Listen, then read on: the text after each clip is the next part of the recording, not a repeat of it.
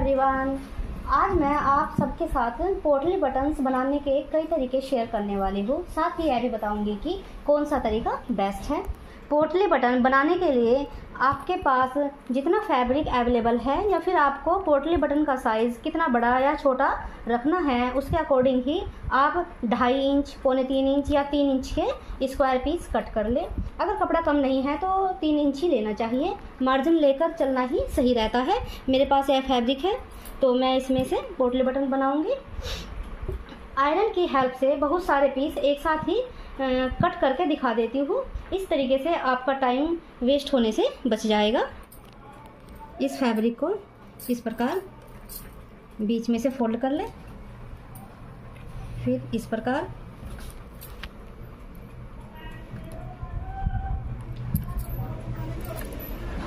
फिर बीच में से इस प्रकार।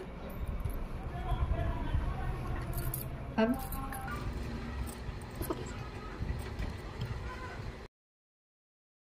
टाइट प्रेस लगा ले। दोनों साइड से नाप लेते हैं। इधर तीन इंच है। इधर पौने तीन इंच है। तो इसे थोड़ा सा इस प्रकार कम कर लेते हैं। आप इसको कम न भी करें, तब भी पोटली बटन बनाने में कोई फ़र्क नहीं पड़ता है, लेकिन मैं कट कर देती हूँ इस कपड़े को।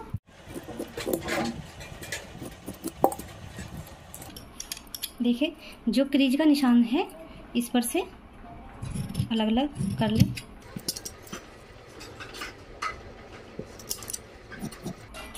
ये जुड़ा हुआ है, इसे भी अलग कर ले। मैं भी सारे पीसेज अलग कर लेती हूँ। यहाँ पर मैं छह तरीके से पोटली बटन तैयार कर कर बताने वाली हूँ। जिस तरीके में कोई नेगेटिव पॉइंट होगा, वह भी साथ ही बता दूँगी। नंबर वन देखिए, जैसे आपके पास यह बचा हुआ फैब्रिक है तो आप इसको किसी भी शेप में कट कर ले, लेकिन आपके यह बराबर होने चाहिए। यह नहीं कि कोई बड़ा या कोई छोटा।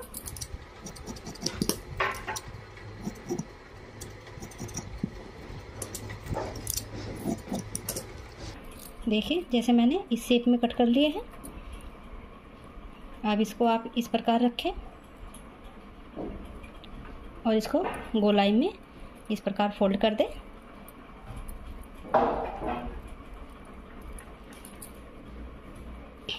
एक पीस ले इसके अंदर इस प्रकार रख दे। अच्छी तरह से गोल शेप कर दे। इसी कलर का धागा यूज़ करेंगे। इसको डबल कर लेते हैं। देखिए।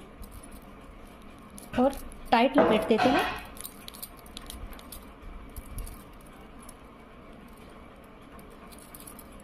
दो बार पक्का भी कर देते हैं।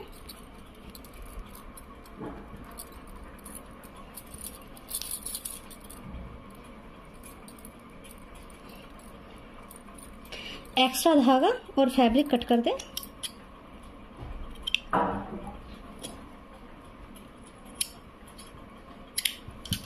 देखें, इस तरीके से ऐसा पोटली बटन बन गया है। सभी पीसेस देखिए बराबर है तो हमारे पोटली बटन बराबर ही बनेंगे।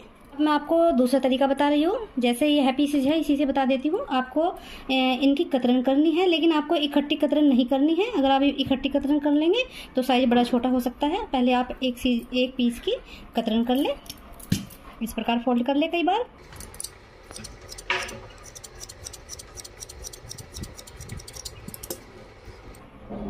देखिए, एक पीस लीजिए और उसके अंदर इस प्रकार रख दीजिए।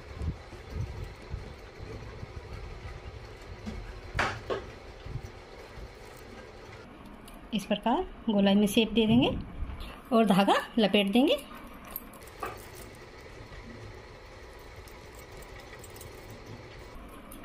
इसमें भी गांठ लगा देते हैं। दो बार।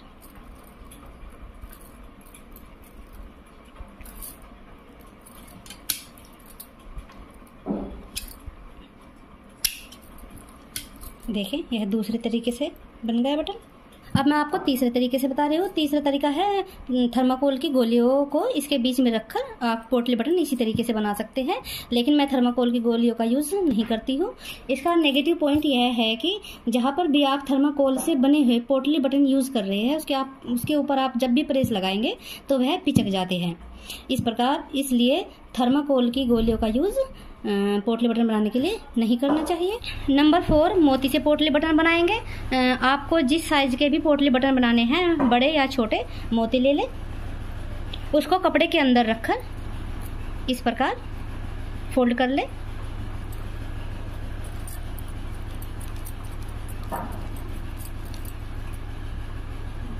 और इसी प्रकार, अच्छी प्रकार से लपेट दे।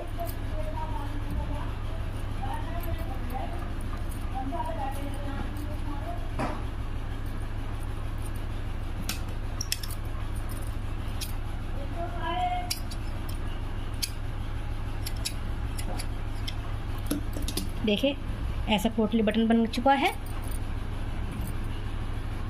लेकिन मोती से जो हम पोटली बटन तैयार करते हैं उन्हें सिंगल बूट से ही लगाना पड़ता है, वरना ज़्यादा फिनिशिंग नहीं आती है। अब मैं आपको लास्ट में दो बेस्ट तरीके बताने वाली हूँ। देखिए यह जोत बत्ती का रेडीमेड पैकेट है। इसमें से आप बत्तियाँ निकाल लें। इसमें छोटे बड़ी सभी साइज़ की है। तो आप इसमें से छोटी बड़ी छाट सकते हैं। आपको जिस भी साइज़ के पोटली बटन बनाने हैं, आप उसके अकॉर्डिंग ही छाट लें। ये छोटी है, ये अलग निकाल दे। हम्म।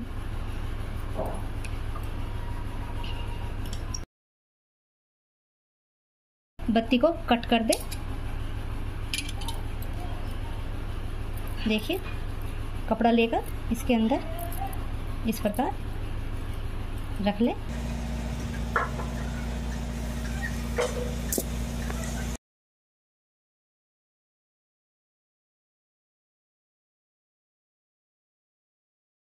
अगर आपको बड़े साइज़ के पोटले बटन बनाने हैं तो आप एक के बजाय दो बत्तियों को इकट्ठा यूज़ कर सकते हैं, जैसे इस प्रकार।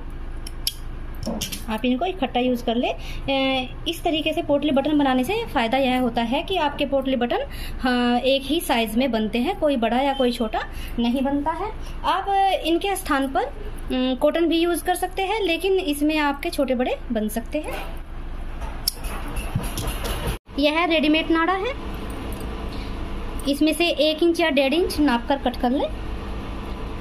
मैं डेढ़ इंच ले रही हूँ। इसी प्रकार कई पीसेस कट कर लेते हैं। देखिए, इसको इस प्रकार खोलकर, इस प्रकार गोलाई में सेप दे और इसके अंदर रखकर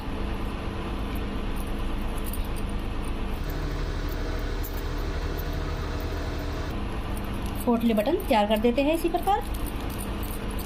आप रेडीमेड नाड़े के स्थान पर घर का बना हुआ नाड़ा भी यूज़ कर सकते हैं। यह पोटली बनाने का सबसे बेस्ट तरीका है। मैं इसी तरीके से पोटली बटन बनाती हूँ। धागा और एक्स्ट्रा फैब्रिक कट कर दो।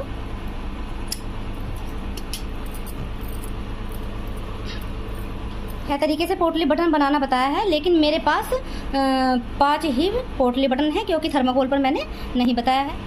अगर आपको मेरे बताने का तरीका अच्छा लगा हो तो please subscribe and share my channel